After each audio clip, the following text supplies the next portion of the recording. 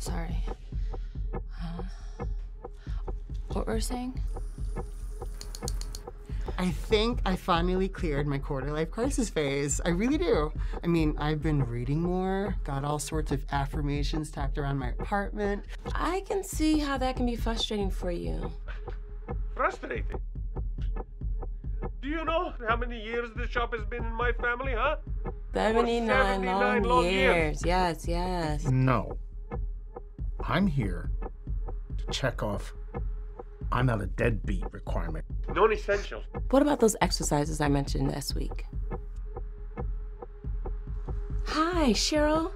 Yes, thank you so much for holding. That's time. Yep, that's fucking time. Now, is there anything you'd like to start with today?